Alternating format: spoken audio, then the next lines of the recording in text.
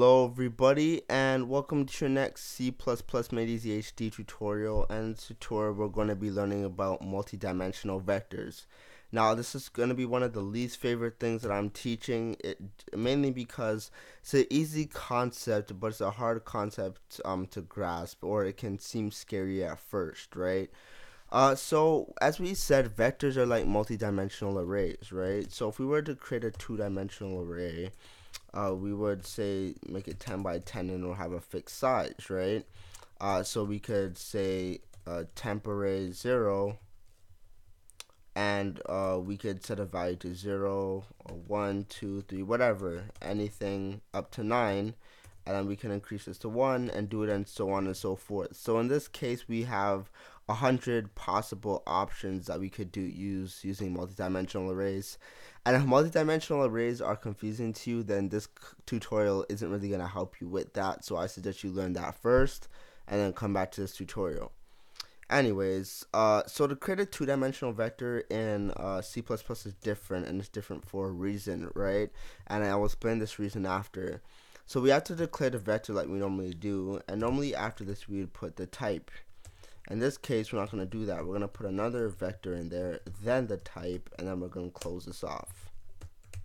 So this is a two-dimensional uh, a two-dimensional vector, and it's done like this for a reason. Two-dimensional vectors do not work like uh, two-dimensional arrays. In this case, this is a vector of a vector. And I know that terminology probably just confused you, but allow me to dumb it down a bit. So notice that we have a vector of ints right here, right? So our std vector right here stores, much like, you know how before uh, when I said that a vector can store anything, whatever, a class, whatever. So don't let this confuse you, right? If we can erase this right here, we would store the value int, right? And whatever. So we could store integer values in our vector. Instead of storing integer values in here, this vector this vector is storing a vector of ints okay? So i just i want you to get that concept um down down packed so this is not storing an integer. This whole vector itself is storing a vector of integers okay? So what does that mean? So if we want to if we were to call numbers dot pushback when we put an integer value that wouldn't work. This parameter in pushback takes an integer type vector, right? That's what it takes in. It isn't taking a regular integer. It needs a vector of ints. So what does that mean? Let's create a vector of ints. So uh, we'll make it, and we'll call this temp vector. Okay, so now we have a vector of ints. So now let's let's uh let's push back two elements. So let's say push back 20. My birthday's on the 20th of July. And 10 just because I used to be that number when I played baseball. I like those numbers. Anyways, so we have temp vector pushback 20 and we have pushback 10, right? So let's erase this right now. So just for clarity, if we call um, CL temp vector and 0, we would output the number 20, correct? And let's run this just to see if I'm lying or not. Okay, so we get the value 20, okay? And same thing if this was set to 1, okay? So now what we're going to do is we're going to say numbers dot push back I'm going to push back the temp vector, right? Because it takes a, a vector of type integers, right? So now this is the confusing part because now what happens to it? We stored uh some we stored a vector of ints in there but what happened to it? Well look at it this way. Remember whenever we push back an element it creates a new element in say an array or whatever and uh and from that uh we store values within it okay? So think of it like this way okay? So let's think of it a temp array okay?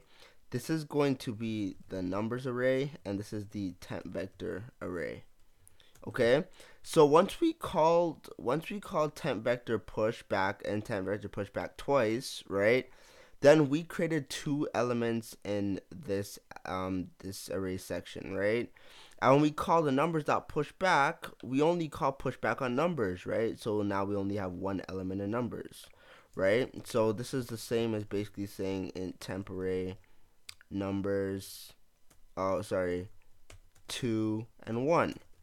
So what would happen? So in the, no, one, two, sorry because we only have one element of numbers and we have two elements of temp vector.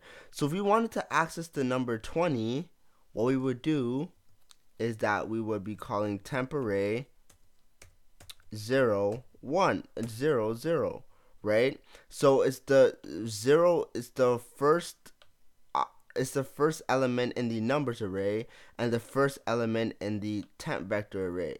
So I know this kind of sounds confusing, right? But once we whenever we have a multidimensional vector, we have a vector of vectors. Remember that numbers dot push back, whenever we push back a value, just like if we were to push back a regular integer value like 1, it only adds 1 to that actual vector, right? So numbers now has uh as the first element, right? Now, if we want to get the second element, we get the actual value that we inputted into our into our two-dimensional vector. So temp vector 0 was equal to 20, right? So if we want to display the value 20, then we put in the value 0 in there. So I'll put SDC out and std end out just to show you I'm not lying. So if we run this, we should get the value 20. So we get the value 20. So what if I want to access this value of 10 over here? The one we do is the first element in numbers and the second element in the temp vector, right? From this over here. So if we run this, well, we get the value 10. So let's, after this, okay, uh, we're gonna say temp vector dot clear okay so i never taught you about that well what that does is that it it does exactly what it says. It clears the temp vector.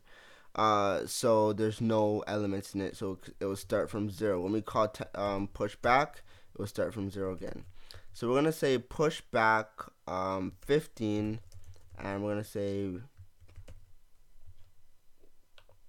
temp vector. Sorry, temp vector dot push back 25. Okay, and we're gonna call numbers dot push back and we're gonna put in another temp vector. Wow it's hard to type on this new keyboard sorry. Uh, temp vector. What's happening? Temp vector okay? So what we did now is that remember we when we call numbers dot push back, what it does is it adds a second element to our numbers vector, right? So now we have numbers zero and we have numbers one, okay? So in numbers zero, right, it stored the values 20 and 10, right? 20 was at the element 0 and 10 was at the element 1. Okay? Now that we call temp vector, uh, we set clear and we added a value 15 and 25. When we say numbers dot push back temp vector, now we just create a new element. So that element is 1. So if I were to call 1, 0, what it does, it says the second element in the numbers array and the 0, the value 0, which is 15. So once we do this, we should get the, the value 15 to the screen. And then you see it, 15. So uh, one thing that I want to show you that it's a great thing about uh, multidimensional vectors too.